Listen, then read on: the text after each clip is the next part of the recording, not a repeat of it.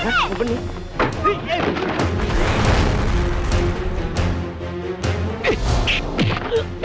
Gue tahu lu anjing piaraan company. Menangkap satu orang aja kamu tidak becus.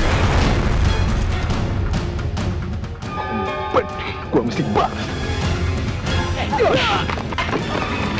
Gampang bener. Yang mau matiin lu.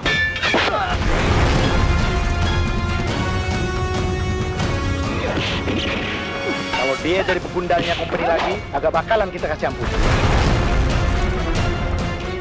Utang nyawe, bayar nyawe. Harta benda kirawat nih, lu bagiin deh ke fakir miskin.